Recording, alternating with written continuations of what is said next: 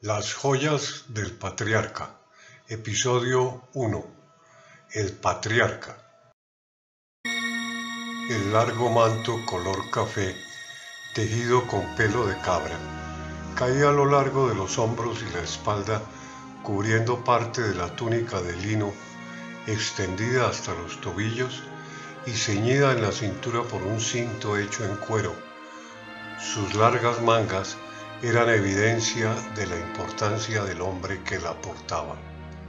Su cara arrugada por los años señalaba el tiempo transcurrido en una vida nómada que lo había traído junto con la familia de su padre y sus esclavos desde su tierra natal para pasar su juventud y la mayor parte de su vida adulta entregado como era tradicional en todas las generaciones a las labores pastoriles. La ventisca asfixiante lo obligó a dirigirse al interior de la vivienda. La tienda construida con pelo de animal, igual que su capa, se mantenía a una temperatura agradable, casi fresca. A solas encendió la llama en la lámpara de aceite de oliva para contrarrestar la oscuridad que se cernía. Su ceño fruncido revelaba la preocupación que lo embargaba.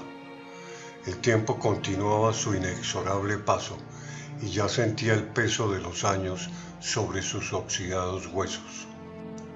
Mandó llamar un criado. El servidor se hincó sobre su rodilla expresando respeto y obediencia. Júrame que no buscarás esposa para mi hijo entre las mujeres de estas tierras. Por el contrario, viajarás hasta mi país natal y una vez allí de los miembros de mi familia la escogerás.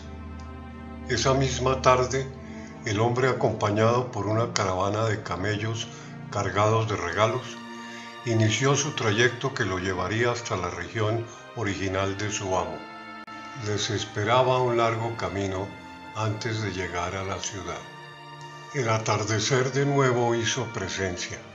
Era la hora en que las mujeres salían a buscar agua por lo que el enviado decidió acercarse sin perder tiempo hasta la fuente, localizada en el centro de la población. Una doncella de aspecto hermoso se acercó con una vasija al hombro y le ofreció de beber a él y a sus animales.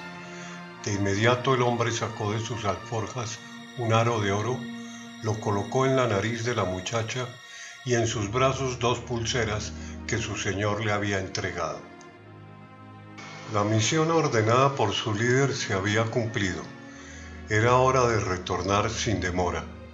El recorrido era largo y peligroso, pero ahora los acompañaba la futura esposa que daría nietos a su señor y prolongaría el linaje durante los siglos venideros.